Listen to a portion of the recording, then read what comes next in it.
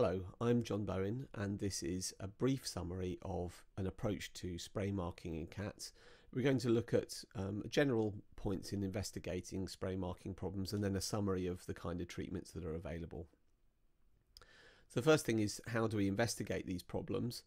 And initially, we need to rule out a number of underlying medical factors that could be important in this case. So, low urinary tract disease, um, pain, endocrine disease, particularly thyroid dysfunction, um, sensory or cognitive impairment. Any of these are problems that can alter motivation in cats, increase competition for resources, or increase stress. And particularly, these are things that are relevant in multi cat households where they're likely to lead to increased conflict between the resident cats. Then, once we've ruled out those problems, we need to think about the specific situation and we need to look at the pattern of spray marking, the relationship between the cats, the kind of environment the cats are living in, the resources that are available to them, and then the security of the home environment. And what we usually do is we get the owner to start by drawing us a map of the environment that's available to the cats. And this is a kind of room plan which has all of the main rooms of the house and the furniture um, just essentially um, uh, planned out. And then the key resources like food and water and latrine sites where they're located. And then we ask the owner to um, record on that diagram all of the locations where they found urine and we don't necessarily ask them to make a differentiation between spray marks and um, urine house soiling. We're just interested in whether urine has been found because there can be situations in which um, what appears to be a spray mark is in fact urination. And we ask them also to include additional information on the frequency of deposits. And in this diagram, we've chosen the convention of having um, 1x meaning infrequent and 3x's meaning very frequent. So that might be daily versus um, several times a day. And it's also very important to have information about the progression of how the cat has been spray marking. So again, in this convention, we have one indicating locations where um, the owner first started to find regular um, deposits of urine, and then two and three indicating places that were then found to be locations where urine was deposited. So we're trying to look at the pattern of how the problem developed over time as well as what it's like now. And this diagram helps us in terms of understanding the pattern of the behaviour and also gives the um, information we need when we're preparing the owner to start cleaning the house. So it's a really good baseline piece of information that helps us to then look at how the problem is responding to treatment and how to go through the treatment program. And we look for certain common patterns of um, spray marking. So this is one of the typical patterns where all of the spray marks are located around boundaries, particularly external doors, windows or furniture and curtains that are close to those um, windows and doors. So you can see in this diagram that there's some spray marking going on around um, the dining room, particularly on um, the area around the windows, but also on the furniture which is close to that window. And this kind of pattern indicates that there is an external threat that's perceived by the cats.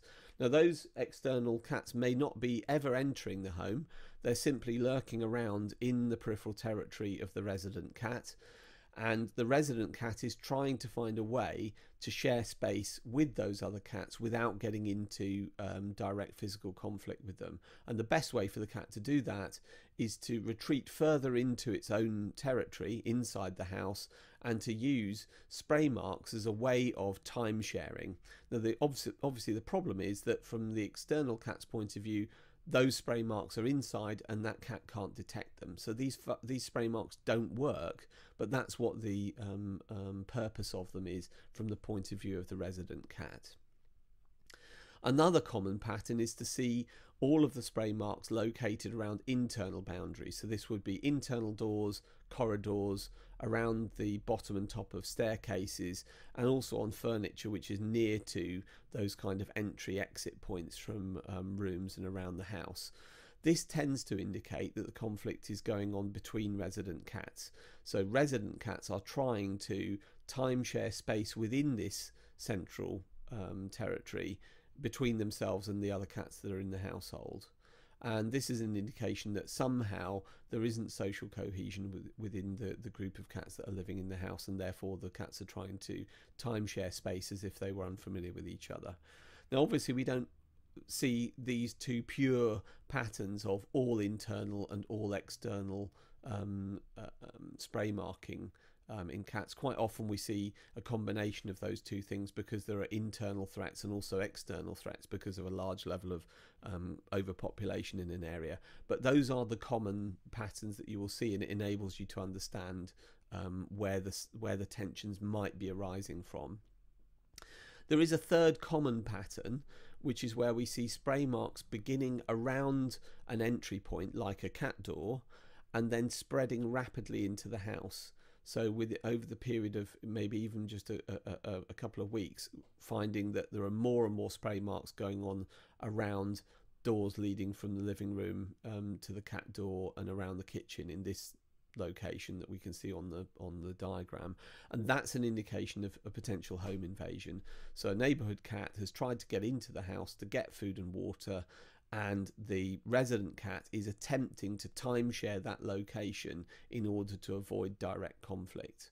And in those cases, that, that spray marking may well have some effect. It may even be that the invading cat is also leaving um, spray marks. So it may not just be the resident cat that's spray marking. We have lots of evidence that intruding cats will also spray mark, and that the two cats are trying to come to some kind of compromise.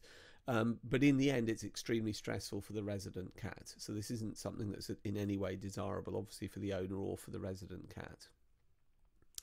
And the next thing we want to do, if, if we're dealing with a multi-cat household, is to get information about the social relationships between the resident cats to find out whether there is social cohesion within the total population of cats in the household. And what we usually do is get owners to help us complete this diagram. So we write down all of the names of the cats in a circle and then we join those cats using um, coloured arrows to indicate grooming and rubbing behaviours and aggressive behaviours.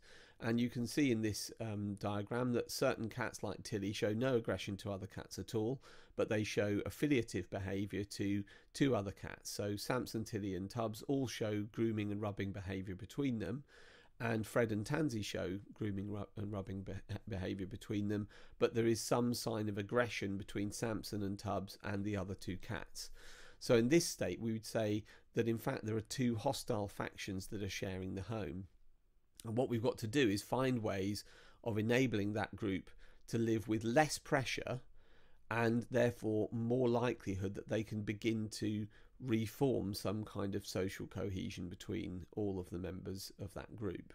So this is a very simple way of understanding what the social relationships are. So once we have that, we have information about where um, spray marking is happening. We have information about the social relationships between the cats. We can get information about where those factions spend time in the household and therefore allocate resources to those cats so that there's less likelihood of them being um, in conflict with each other. So the next thing to do is look at the um, distribution of resources. So the number and location of litter trays, food, water, food and water bowls, and resting and hiding locations. Now, typically, cats um, uh, um, use separate sites for urine and defecation, and they prefer to have their own latrine locations. So, if we have one litter tray in a multi cat household, and one or two food bowls and water bowls in a multi cat household, it's quite likely that that's going to lead to conflict over those resources because cats need to have um, access to those um, resources on an ad lib basis.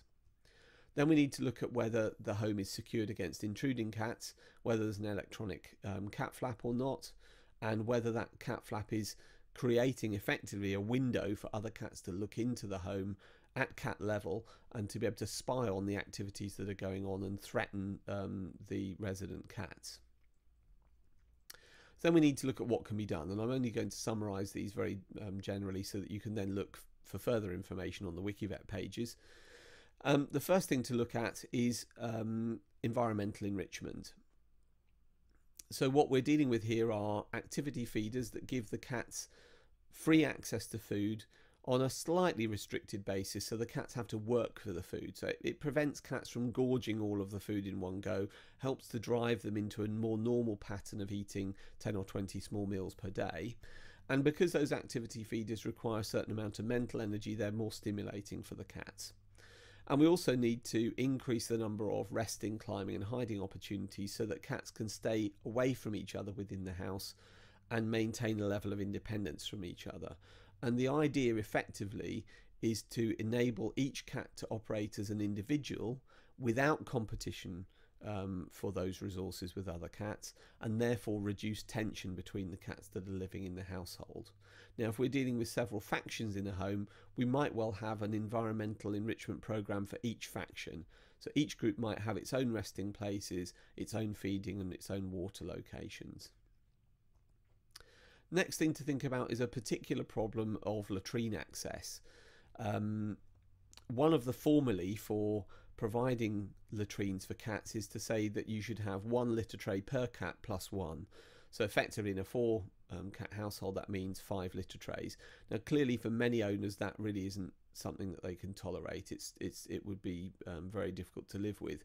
So one of the ways of dealing with it is to provide outdoor latrines. Now, we've already said that for many cats, there is no outdoor latrine in their own garden, so they're forced to go to other cats' gardens to find them. And not having their own latrines means that they, they have to go to other cats' gardens, and it also means that they don't. It's less easy for them to maintain uh, a small territorial boundary that's related to their own um, garden size. So what we can do is install outdoor toilets and all this is you can see in the picture on the left it's not very easy to, to identify what's there but effectively there's a, um, a cat litter tray sized hole that's been dug um, about 30 centimeters deep and then soft playground sand that you would use for um, a children's um, play area poured into that hole and a little bit of earth scuffed over the top. Now the idea of that is that um, it's a very attractive um, toilet site for the cat. It's in a nice quiet border at the edge of the garden where the cat feels safe. Because it's sandy, that latrine won't freeze over when it's cold. It will always be easy to dig and it won't get waterlogged because it's free draining. So this means that this is a, a, permanently accessible toilet and what we'd ideally do is put several of those in the garden in order to reduce the need to have multiple litter trays in the house it is important to increase security for cats.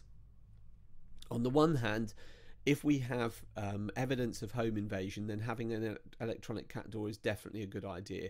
In general, I would advise that, that all cat owners use those kind of secure cat doors because it minimises the chances of home invasion starting. One of the problems is that if cats are hungry and persistent and they find an opportunity to get into a, a household, bully the cat that lives there and steal the food, it's very, very difficult to discourage them. So it's much better to prevent that situation starting. Um, the other thing we often do is get people to paint the cat door opaque, and there are two reasons for this. One is that it prevents neighborhood cats looking in through the cat door to see where food is and to effectively gather information about what's going on in the household but it also means that the resident cat isn't being faced with other cats staring at it through um, its own doorway, which can be very stressful for them. The other thing we tend to do uh, uh in houses is to try to block views. So if we look at this right hand image, this is um, a view of a, um, a, front garden where there is a wall that other cats routinely sit on to stare into the resident cat's household and the resident cat was um, spray marking around the curtains on either side of this window. So clearly, the way of dealing with this is to block that view by putting up um, um, a small amount of um, film on the window so that the cat inside doesn't feel threatened by cats outside, and therefore it minimises the chances of spraying happening. The other thing we have to deal with is removing spray marks, and there is much more information on that on the WikiVet pages, how to go about cleaning and removing um, the, the spray scent marks. But once they're removed, they have to be replaced with something else. And normally within the core territory, cats would use facial and flank marks to indicate that this is a safe area. And we can um, take advantage of this by providing high levels of synthetic equivalent pheromone marks in the form of products like Feliway. And the idea is to remove these spray scent marks, which indicate that the area is shared or that there is some conflict over that area, and um, switch them with synthetic high intensity equivalents of facial marks, which therefore make the home feel like core territory and decrease the probability of um, spray marking. And there's lots of evidence that this kind of approach is very effective in cats. So it's one of the mainstays of treating um, uh, spray marking problems in cats. If problems have been going on for a long period, let's say a cat has been spray marking for six months or more, or where we have several cats in a household spray marking, or where we have multiple sites being spray marked on a daily basis, so it's very difficult for the owner to keep up and keep the areas clean, then we might consider using medication like um, clomipramine or fluoxetine.